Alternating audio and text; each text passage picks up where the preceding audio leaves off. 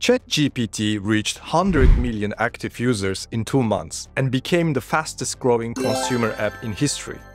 This caused Google to feel an existential threat for the first time in years as ChatGPT can give direct answers to search queries without needing to browse a list of potential results, potentially killing Google's ad business, which currently accounts for 60% of their revenue. In response, Google declared a code red and invited their co-founders back to Google. Sergey Brin started coding again. Microsoft saw this as a once-in-a-lifetime opportunity to take its share back in the search market. So they invested in ChatGPT and integrated into Bing, its long-dead search engine. This is forcing Google to roll out LaMDA, its own chatbot based on a large language model, in order to compete with Microsoft and OpenAI's partnership. Welcome to the war for the future of search. Microsoft has announced the integration of OpenAI's GPT-4 into Bing, branding it as the new Bing. The AI-enhanced Bing has a new chat option in the menu bar, alongside search, which allows users to toggle between the two modes. Upon selecting the chat option, users are greeted with a chat interface that provides three suggestions and a disclaimer, which closely resembles the interface of ChatGPT. In the search mode, we can see results from Bing Chat next to the traditional search results. I saw some mixed opinions about it. Some people love it, some people hate it. I find it a little bit distracting, but Functionally, it's great to have all this information from Bing Chat next to traditional search screen. The new Bing will have access to current information from the web, and it will also clearly state its sources on the answers it gives, enabling users to verify the information. Bing is capable of handling complex tasks that usually require manual effort, such as generating meal or travel plans and writing code. The AI's ability to comprehend and respond to natural language queries also means that Bing can handle creative tasks such as writing a rhyming poem or creating a short story. Bing can engage in a conversational exchange with users, providing a more human-like research experience. Google, on the other hand, responded with BARD, a new experimental conversational service powered by LaMDA, a large language model Sundar Pichai mentioned that BARD is currently in external testing phase with trusted testers. The word experimental was chosen specifically to prepare the public for the potential of wrong information or biased responses that may come from BARD. BARD's large language model is a lightweight version of LaMDA that requires significantly less computing power. It's understandable why they choose a lighter model to start with it has been estimated that cost of operating ChatGPT is roughly 1 to 3 million dollars per month with each query requiring approximately 3 cents.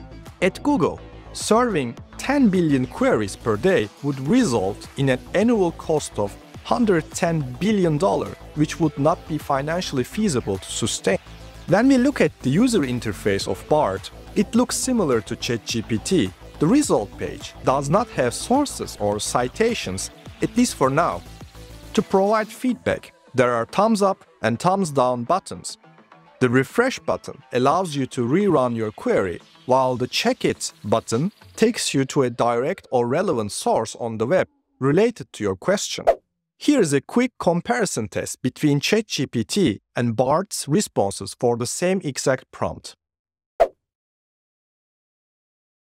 Which one do you think did a better job? Write down in the comments. Both companies take a hybrid approach, combining a traditional search experience with chat.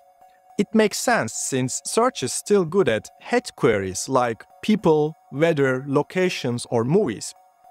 The all-time highest traffic for Google search was during the FIFA World Cup final as people search for scores.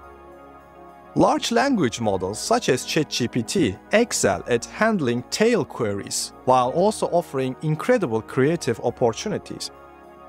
It makes sense to have a hybrid approach combining traditional search with chat-based quick answers. Some people prefer direct answer, a quick response to what they are searching for, and some people like the research experience. Not the destination, but journey. While researching for something, they want to discover new information and new people, and that's totally fine. It's too soon to determine whether traditional search and chat-based search will eventually merge. Only time will tell. Everybody's asking the same question. Where are we going with all these developments? AI arms race between tech giants will accelerate further.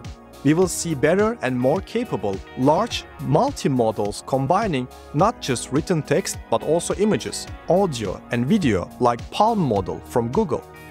In the coming months, the scalability of large language models will be an important issue, given the massive computational resources they require that can only be supplied by tech giants like Google or Microsoft.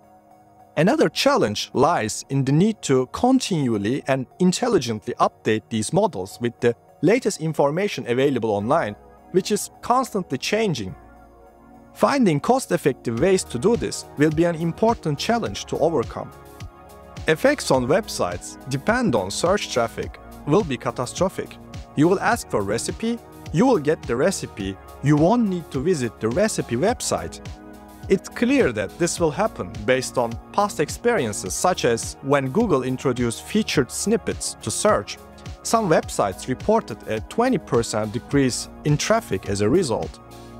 The former director of AI at Tesla mentioned GitHub Copilot in his tweet saying that already 80% of code he is writing on a daily basis had been written by AI. Guess who owns GitHub? Yes, Microsoft. It's hard to call a multi-billion dollar company an underdog, but Microsoft is giving me that same feeling I got when watching Morocco reach to semi-finals of the World Cup last year. And I love underdogs.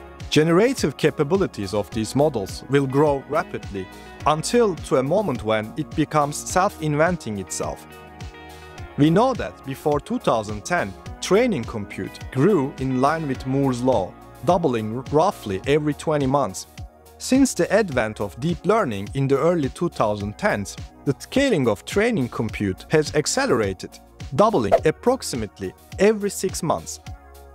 Based on these facts, it's safe to say that eventually search engines will transition into answer engines.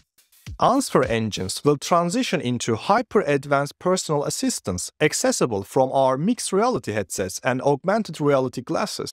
People will start hiring these models as employees. They never sleep, never get sick or tired, and they will be able to do knowledge processing work better than us, sooner or later. In the future, specialized multi-models that focus on individual domains, or what I like to refer as artificial domain intelligences, will begin to interact with each other, as well as with data from robotics solutions operating in both real-world and simulated environments. This will be the point when discussions about artificial general intelligence will become much more serious and prominent. Once we reach the AGI, artificial superintelligence level won't take too long to reach. Over the next decade, I believe that cost of intelligence will rapidly decrease to almost zero, leading to the democratization of intelligence and creative power. As a knowledge worker, I reflect on the future of my career and acknowledge that it may not be relevant in 20 years. Despite this, I remain optimistic and eager for the new opportunities that will come with the rapid advancement of artificial intelligence. I'm fully committed to embracing this change and exploring all that it will offer. Thanks for watching. If you want to learn more about ChatGPT and artificial intelligence, you can click here.